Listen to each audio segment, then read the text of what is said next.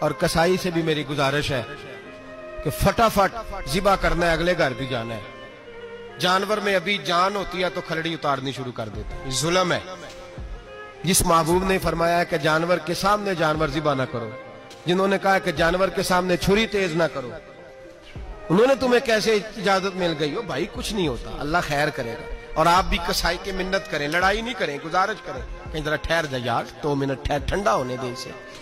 ٹھنڈا ہونے دے زندہ آدمی کی کھال اتاریں تو کتنی تکلیف ہوتی ہے۔ اتنا ظلم۔ میں نے دیکھا اسی وقت اس نے لٹکا دیا پیر کاٹنے لگ گیا، فٹافٹ۔ نہ، ٹھنڈا ہونے دیں۔ نبی پاک صلی اللہ علیہ وسلم نے منع فرمایا، جانور ٹھنڈا ہو، کا گوشت بنائے اچھے طریقے سے۔ کچھ نہیں ہونے لگا۔ کوئی مسئلہ نہیں ایسا۔ وہ جو ہمارے یہاں مشہور ہے نا، عید والے دن روزہ ہوتا ہے تو قربانی کے گوشت سے کھولنا ہے۔ روزہ روزہ کوئی نہیں ہوتا۔